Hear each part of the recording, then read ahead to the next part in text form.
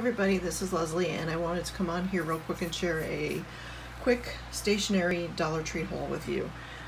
They are starting to put out all the, well actually my store has it all out already, but for going back to school. So I did pick up a couple of things.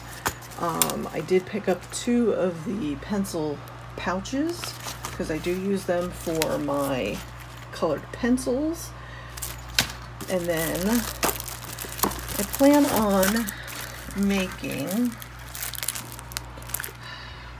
a new way of putting my recipes and stuff for my candles into dividers. So I did purchase these.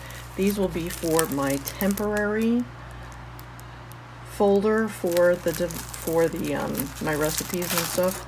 So I picked up two of those for the tab dividers, and I picked up some surge or yeah, surge protectors, sheet protectors and I picked up some paper, of course.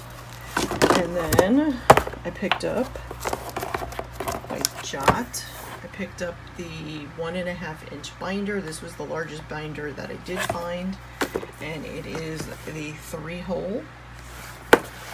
And then I picked up two of these cases. Again, they're pencil cases.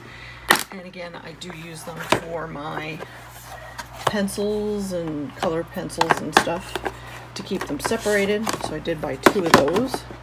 And then I bought two more composition pads. So I bought two of these. So that's it. I just wanted to show you real quick what I picked picked up at the Dollar Tree the other day. And I had to pick up some cards for birthdays. But other than that, that's it. I hope everybody's doing well. Stay safe, and we'll see you on the next video. Bye, everybody.